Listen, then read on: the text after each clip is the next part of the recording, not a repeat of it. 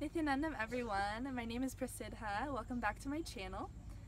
So today I wanted to talk about the reasons why I became vegetarian. And this is probably the most asked question of me by everyone that I encounter about why specifically I stopped eating meat. Um, so I'm just going to get into that story a little bit. When we're little kids, we all have these grand ideas of who we are and who we want to be in the future. We have all these aspirations and we have no limits to them. We think we can I can be a princess, I can be a warrior, I can be a police officer, I could be a doctor. And for me, what that was was saving animals. And since second grade, I had heard of this endangered species and I was like, how does this exist? I didn't even know this was possible that we could take out a whole species of animal. And when I found out that elephants specifically were involved, I was just heartbroken because ever since I can remember, they were just this huge part of my heart and life. And so I decided to take action and make a attempt to make a charity with my good friend. And we went, little us went knocking door to door and tried to get some money from our neighbors. We raised about $50 um, to help save the animals, save the endangered species. Um, and that moment sticks out to me in my life because it was this time where I had these huge dreams, even in this little body, and I didn't let anything hold me back. And then life happened, and I just got weaved into the whole system of things. Uh, I was in the normal school system, I was raised by a pretty normal middle class family, and my diet consisted of meat. And there was never a question about that because that was just everything I knew. And on top of that, I was I really ate horribly. I was an extremely picky eater, and all I ate were was meat and bread. I wouldn't even eat fruit or vegetables.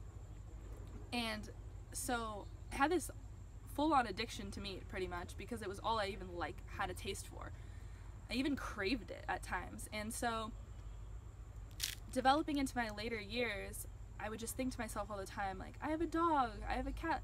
Why why do I love them and would be so upset if something happened to them, but I just dissociate from this whole other sector of animals, these farm animals. And I really was honest with myself on the inside, but then I didn't change my actions. So I started to see this violence within myself of how can I continue to kill and eat these animals, but not others. And so I started questioning and really, really hating myself that I would continue to take those actions and continue to eat meat, but I felt seriously out of control. I felt like I couldn't stop. I was really addicted to meat.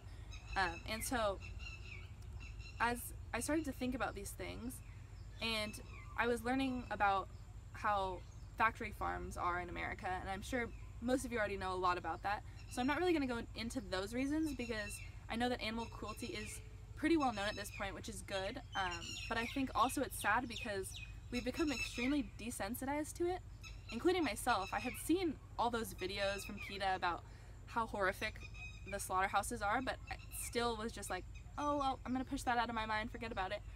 Um, and so what really started shifting my cognition was when I found out how impactful factory farming and animal agriculture is on the environment.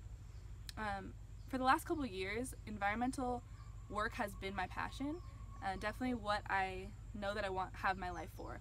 And so when I started realizing and learning from my classes in university and also my own research and documentaries that the number one cause of greenhouse gas emissions is factory farming, I was utterly appalled and I knew I was like, wow, another reason that I should not be participating in this. And I started to really see the hypocrisy in myself because I was working in this field but yet I was still consuming meat, which is the number one worst thing I could do for the planet in general. Um, and I'm gonna get a little bit into that. So I don't know if all of you are very familiar with the environmental impacts of meat in general and also animal byproducts, um, is that they account for 51% of greenhouse gas emissions. So we often are told that cars and transportation and other forms of energy are the number one or the only contributor to these greenhouse gases, but actually factory farming is. And on top of this, it's the number one cause of biodiversity loss.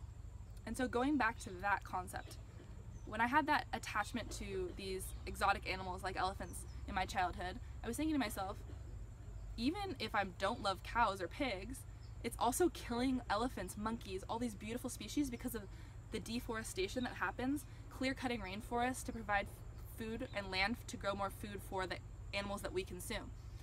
And I just was like, wow, this is insane. And on top of that, it's the number one cause, uh, one of the leading causes of uh, de deforestation, like I mentioned. And it about one tenth as effective of an acre of land used for raising livestock as for raising plants. So it's extremely unsustainable, especially in a world where our population has grown 4 billion in the last couple decades. So when I was learning all these factors, I was just really pushed me to the almost to the very brink of wanting to be vegetarian. But again, I still was wary about making that choice because I was so caught in my patterns. And the last thing that pushed me over the edge was actually the spiritual reasoning behind going vegetarian about what I learned from my guru.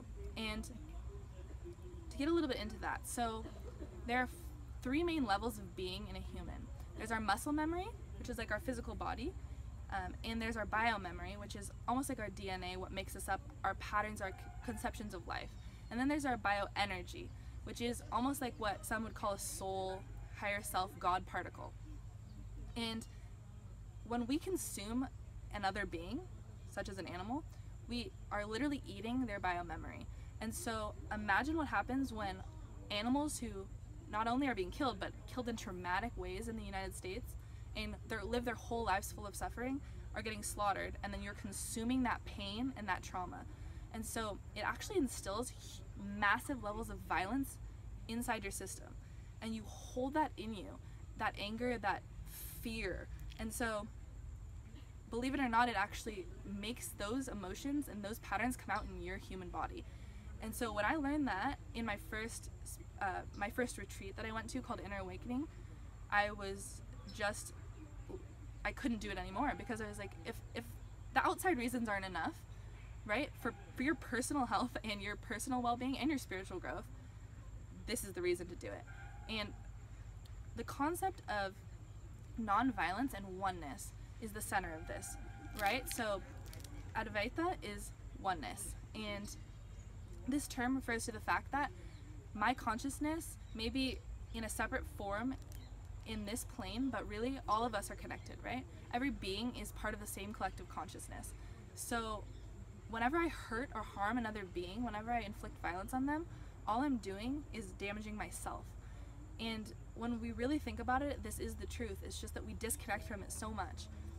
And the other concept that it, in the Hindu world, that the reasoning behind not killing animals, not killing any living things, is ahimsa or non-violence.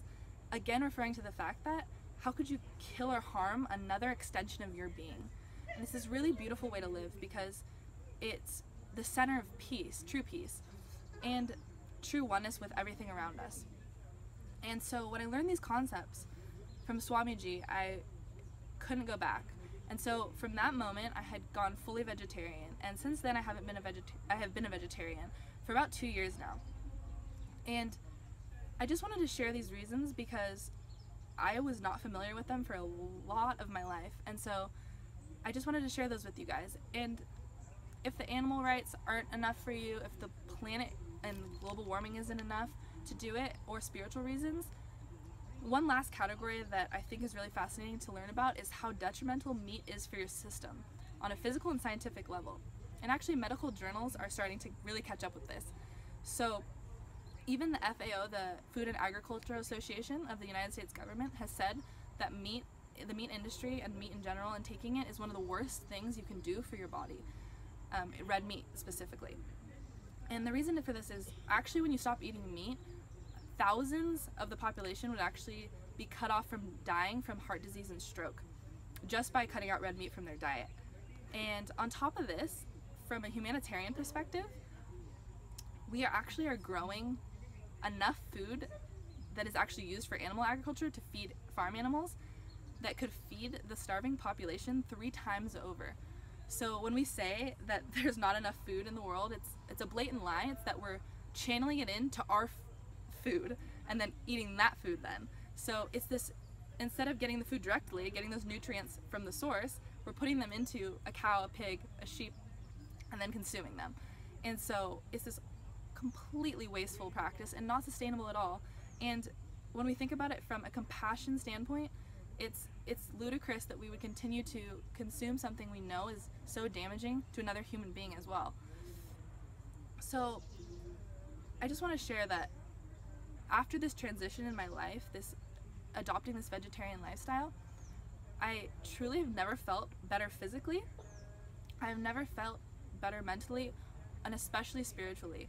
I have to say that you it may be an unexpected result, but my relationships with human beings have been so much different since I decided to make that decision because that violence that was stored in me from eating meat and that anger and resentment that would come up from it is really erased in a lot of ways and I can actually see that directly coming from eating meat. And so that and also that that deep compassion that I have now for living beings translates to my relationships with human beings as well. Because even if we're um, even if we're showing violence towards a, a bug, a little bug, a dog, anything, when we're harboring that, that's still the truth inside ourselves. So that's gonna come out in our personal relationships. So I can say that that's been one of the really amazing results of going vegetarian. So I hope that you can understand and see that there's many reasons why you can choose to be vegetarian and that it's just a beautiful way to live in every single aspect of your life. Really can't emphasize enough the benefits that this choice has brought to my life. And any questions that you have for me about what I've talked about, whether it's something maybe more in depth about the environmental issues that I was referring to, any impact or the spiritual concepts that I was talking about, I can make more videos and explain those concepts. Just comment and let me know what you have questions about, what you want to know more about. Any like questions that you really have are coming up in your system. And I just want to be here to help you in any way to better understand what this will mean for yourself and your life and um, to help you just any hopefully make the transition to the vegetarian diet or just expand your understanding on why myself and many others have chosen this lifestyle. So thank you so much for listening to my video and I'll catch you guys later.